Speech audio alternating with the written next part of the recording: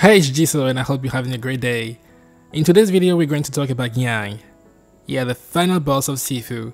At first, he may appear as an apex predator. He beat your ass repeatedly and maybe he even made you quit the game altogether because you just couldn't beat it. But today we're going to go in depth in how exactly you can defeat him without, well, easily. He is the funniest boss in my opinion and he's not really that tough.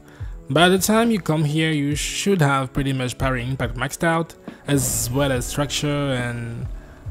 well, that's it. Right off the bat, something you need to know about Yang is that you can't be so aggressive with him. He's going to punish you, and yeah, that's all you need to know about him. The whole game you've been beating people, aggressing them violently, using your kung fu. But against Yang, you have to let him come to you. That's the one thing you need to remember throughout the fight and you'll be fine. The one thing you can do to make this fight so much easier on you is use the staff and just parry. Just parry him and he's going to go down in no time. Occasionally, he's going to go for a low. And that's the one time you have to be ready to dodge low. Other than that, just keep parrying. Even the even the sweep he's going to do, you can parry.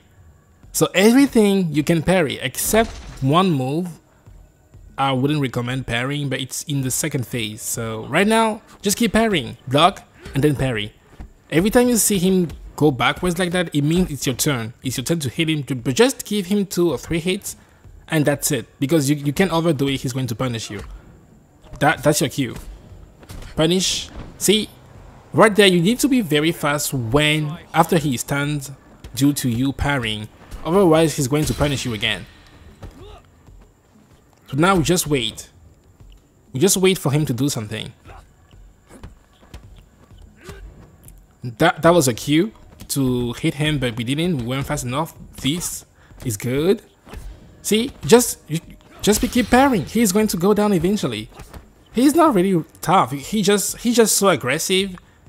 He's getting punished for being aggressive. And if you are aggressive with him too, you're going to get punished. Right now he's going to go for a low.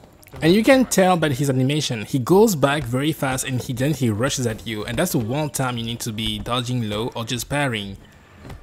Always be mindful of your structure or posture bar as well because you don't want it to be to completely be filled.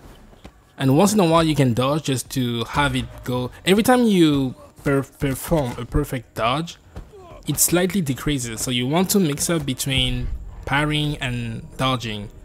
And the first phase is pretty much easy. You, you just tap L1 and all the block button, and that's it. There's nothing tough about this fight, really, but the first time you come here you're going to get demolished. Because you've been playing aggressively the whole game, you want to show off your kung fu. But here's the thing, he knows your kung fu.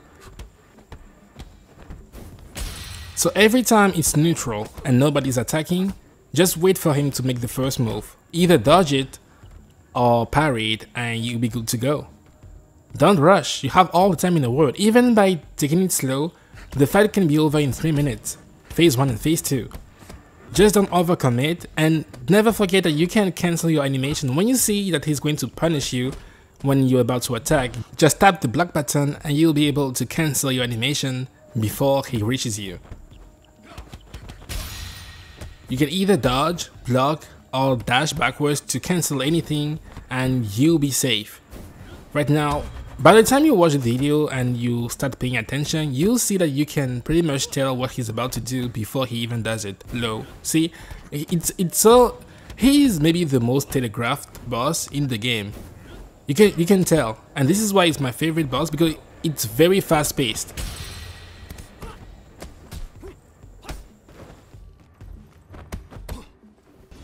Then comes phase 2 and here more than ever you need to take it slow. That one move, that one move is the one you should always try to dodge because it does massive damage to your posture and if it, it catches you off guard it's going to destroy you. And it's very easy to dodge that one, just have to flick your thumb and that's it. You, you need to follow the rhythm. He has a rhythm like foo foo foo and you have to flick your thumb just like that like foo foo foo. See? Let's wait for him to do it. And every time he goes for elbow, when he hits you with his elbow, he's going to do the move where he goes backwards and tries to and tries to hit you with this foo foo foo. Come on, do it. Come on, Yang. No. And it's the same thing you have to do. You have to be parrying him and blocking. Parrying, blocking, and making sure you pay attention to your posture. You can tell when he's about to go for that move like that. When he gives you the elbow, he is going to go backwards. No matter how far you are from him, even very next, like very close to him, he's going to hit you with his elbow and go for the foo foo foo. So just be ready. You just have to be paying attention a lot and also mind your surroundings. Never be too close to a wall. You don't want to be pushed back and hit the wall because he's going to capitalize on that and hit you again. Always recenter yourself and be sure that you're never too close to a wall and you'll be fine. Occasionally he, he'll do that one move but hopefully you have time to react and dodge or just parry that. What I, what I usually do is that every time he's about to attack I am blocking just in case I don't get surprised. And when he does that, when his hand is down and he's about to go for a back fist, you know about the charge back fist because you also have the move. Don't attack him. Every time he has his arm, you if you know about the animation, you know what I'm talking about. He's going to punish you if you try to attack. Also, you can use crook foot, which is very, very good against him because you'll be parrying a lot and it guarantees it's going to knock him down, allowing you to hit him once or twice. See, right there, don't do anything. Just wait for him to reset and that's it. Do not, do not attack him when he's like that, charging his fist. In no time, you should get rid of Yang. He is very, very easy when you know what you're doing. Don't rush it and just pay attention to his animations. Foo foo foo.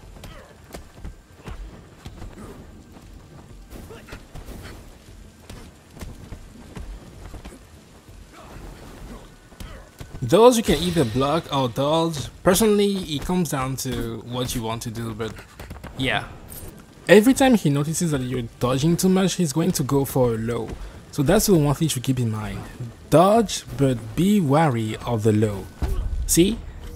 Just be just be mindful and this is why you are always safe when parrying because it's neither up or down. But if you dodge, be wary of the sweep. It's going to come. Most of the time he's going to start his combos with an uppercut. And when that happens, this uppercut. You want to be able to dodge because he's going to combo off that and take half your life. You don't want that to happen and this is also why you can't be too aggressive. He can do it every time. But keep in mind it's a starter. He cannot do it mid combo. He's always going to start with it and that's it. So just wait for him to whiff it and punish it. Like that. See, you either block it, parry it, or just dodge it. But you don't want to receive it in the face. It's going to knock you down very fast. And here is a very good example of why you shouldn't stay too close to a wall. You're going to bounce off it and it's going to damage you and if you're already in low health, you're dead. Long story short, parry, parry, parry, mind your posture, don't be aggressive, and you will be fine. Trust me, it gets easier, you just have to pay attention. I hope you like the video and you find it instructive and hopefully you destroy this guy because he deserves it. He killed our father and mentor, so he deserves the hate. But also, go for the Wude or whatever ending. Here's hoping this video helps you in your quest for revenge. And I want to know who is your who your favorite boss is in the game. So be sure to comment and yeah, subscribe. Bye bye.